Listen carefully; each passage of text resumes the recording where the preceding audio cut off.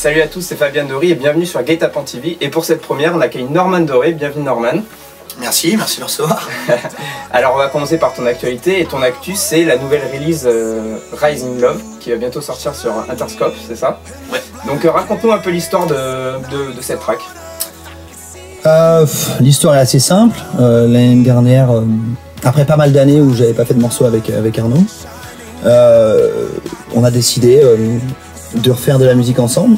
Euh, c'était assez simple. En fait, on avait un, constat que la musique était assez catastrophique autour de nous, aussi bien euh, ce que, ce que, ce que d'autres producteurs faisaient, mais parfois nous, sur certaines idées qu'on faisait, c'était vraiment pas terrible.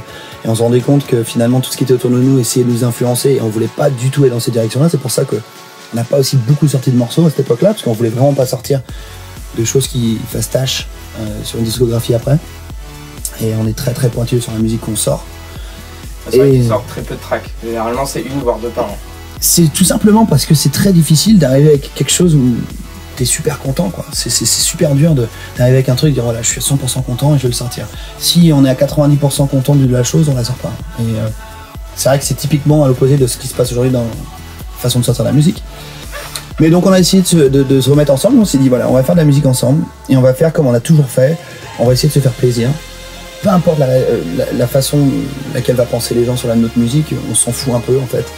Euh, sachant que les ventes aujourd'hui, on peut s'acheter un McDonald's avec, avec euh, les, recettes des ventes, à notre niveau en tout cas.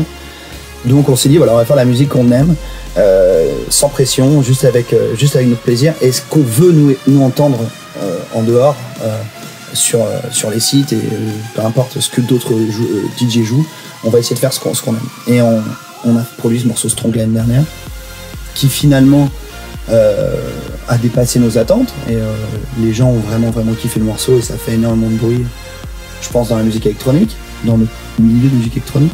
Ça a vraiment coupé net avec ce qui sortait à cette époque là et donc finalement beaucoup de gens sont revenus vers nous en disant c'est incroyable c'est complètement différent.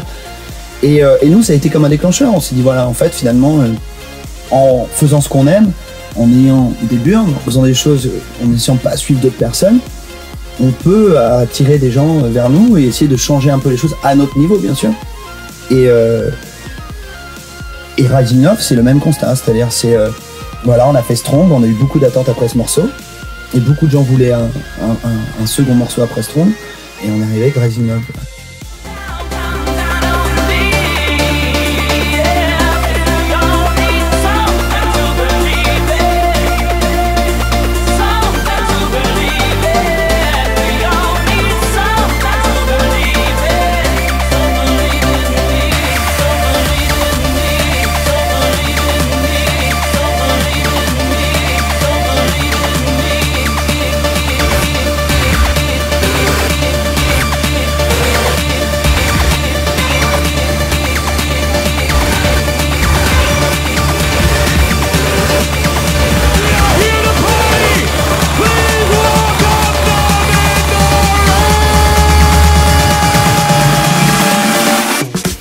Euh, Qu'est-ce qui va se passer pour toi dans l'été 2015 Des festivals, des résidences, dis-nous tout. Ouais, alors euh, moi je passe beaucoup de temps aux États-Unis. Euh, j'ai une résidence à Las Vegas de- depuis 4 ans. Maintenant je joue au Light, une à deux fois par mois. Donc moi j'ai beaucoup de choses à, faire dans ce coin-là l'été. C'est une grosse saison pour Las Vegas. Beaucoup de touristes qui sont en Europe, qui ont leurs vacances, qui vont là-bas. Donc c'est vraiment le, peak time. Donc je vais jouer beaucoup à Las Vegas, pas mal de shows aussi, ce qui est LA, Miami, tout ça, donc pas mal de tournées aux États-Unis. Euh, je vais avoir quelques shows en Europe, euh, notamment un show en France euh, début août, je crois.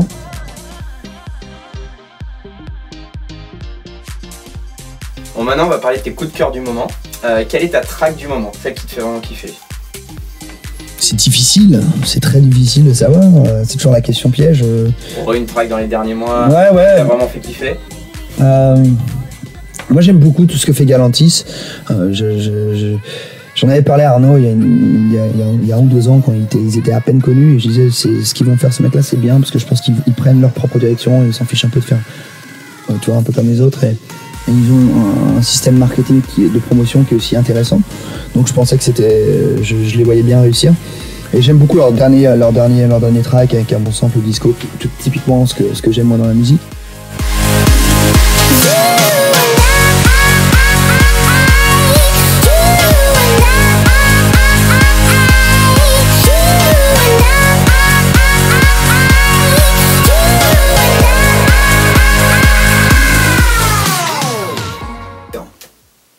Et quel est l'artiste que tu vois exploser en 2015 Ou alors euh, en 2016, mais l'ar- l'artiste qui va exploser, selon toi Je miserais sur, sur ce jeune suédois qui s'appelle Anevo, qui, euh, est vraiment quelqu'un avec d'énormes ressources, euh, qui est très timide, qui est très dans son coin, mais qui prend une direction artistique très intéressante.